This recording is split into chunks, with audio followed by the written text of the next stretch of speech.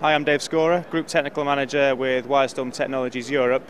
I'm going to talk to you about our 4x4 HDBaseT-Lite matrix that we're showing at ISE 2012. It's based on the same chassis as our current 4x4 Pro model that is a twin UTP uh, transmission. This model offers single UTP transmission up to 70 meters this time over single UTP two-way IR, so control of the sources and control of the screens at the, at the, um, at the receiver end, and also has a duplicate HDMI out, so you can actually run a further four screens from this 4x4 model.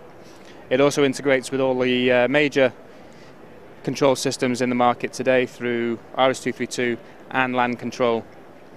And it also has a uh, EDID edit function, so we can either fix or edit the uh, the EDID that that passes through from the screens.